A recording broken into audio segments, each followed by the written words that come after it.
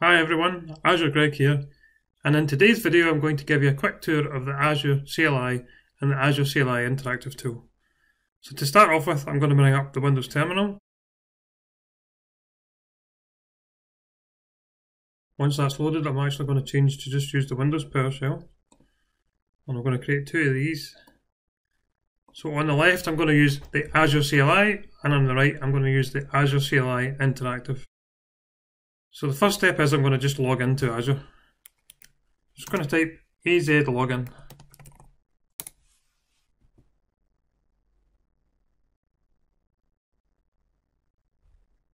It's going to ask me for my username.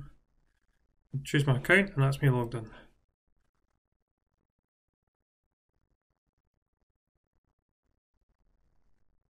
Okay, so I'm just going to clear the screen. So if I want to be able to list my accounts, I can just do AZ account list. And I'll list my accounts. Let's clear the screen. And let's go into the other terminal window and let's use AZ Interactive to do the same thing. So this is an interactive version of the command line. Um, it's an interactive mode.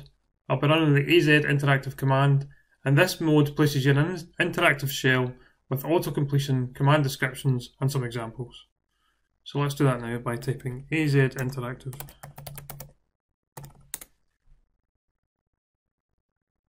Okay, so now that that's loaded, we can see we're in the PowerShell command prompt. We've typed AZ Interactive and we've entered the Azure CLI Interactive mode, which will give us, pretty much give us command descriptions, auto-completion uh, and some examples down here.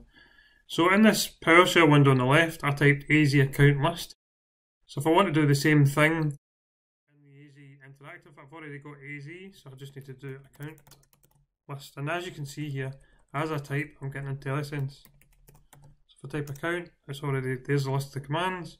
It's clear, get access token, and that's based off of account. So if I just do list, press return, I get the, the list of account. Same, same command. So let's just clear the screen on both again. So now let's look at using the CLI on the left hand side to create an Azure resource group using the Azure CLI.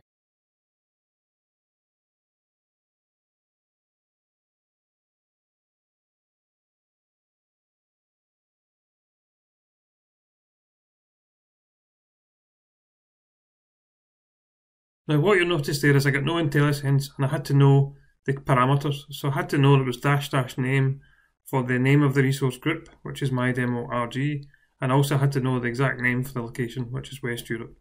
So let's go ahead and do that. And that's going to go and create that demo resource group. So you can see it's succeeded. We've got my demo RG and it's succeeded. So let's use the Azure CLI Interactive to do the same thing. So to do that, I've already in the AZ uh, context. So all I need to do now is do group.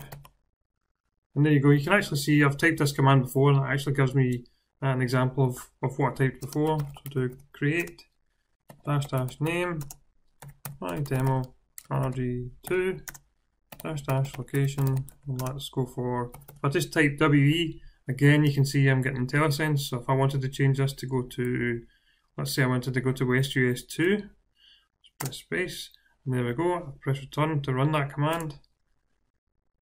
That's going to go off and create the resource group, my demo RG2, and it's now in the West US2. So that's the IntelliSense. So you just start typing. You can see down here, create a new resource group, and it gives you an it gives you the example. So you can do dash L for location and dash N for the name. That's kind of short shorthand. Um, but the way I did it previous was the kind of long way of doing it. So you can see here that I'm using the Windows PowerShell um, prompt and I'm using the Azure CLI interactive tool to kind of learn the commands for using the Azure CLI. And you want to use the Azure CLI to kind of automate repetitive tasks, maybe script out kind of DevOps resources and, and creation of resources so you don't have to type them, you could put them in a script and just run the script. So that's us created a resource group. Now let's take a look at creating a virtual machine inside that resource group. What I'll do here is I'll just clear the screen on both sides again.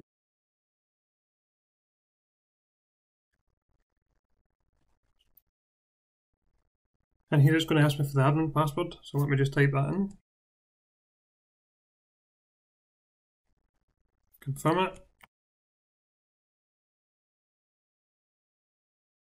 So that's going to go off and create a, an Azure virtual machine in the demo, my demo RG resource group, and it's going to be called my demo VM.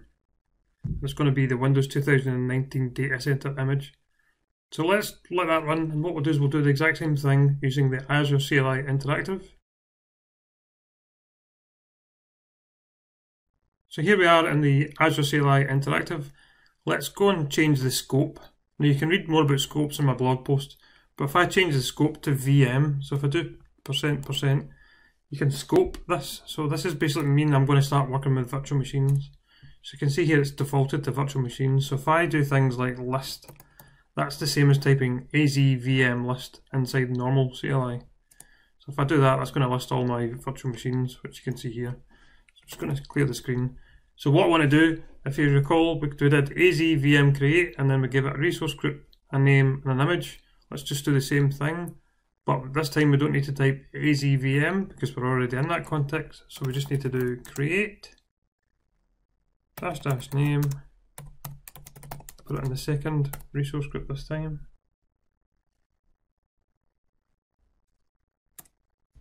Press return. That's going to go off and create that. Let's check on the first one using the Azure CLI, and that's just created. You can see here we've created a VM in West Europe. It's running, and it's also in that resource group, and that was using the Azure CLI. Let's switch back to the CLI interactive, and it's still creating our, v, our VM. Okay, so our VM has now been created. As we can see here, my demo RG2 is running in West US 2 in the region. So that says how we've created a virtual machine using the Azure CLI.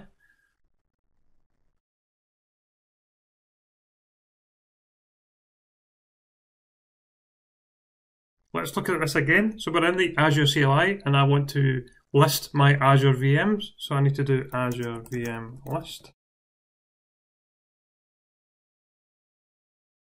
And I can see my virtual machines I've got in here. That's all the ones I've got. And if I want to do the same thing inside the CLI, I'm already in AZVM, so I just need to type list. And that's kind of how you work with scoping.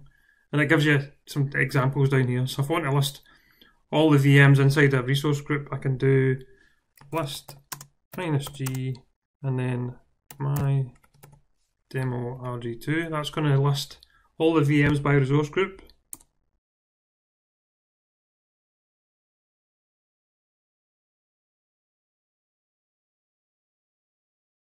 And there we go, that's the resource group there and the virtual machine.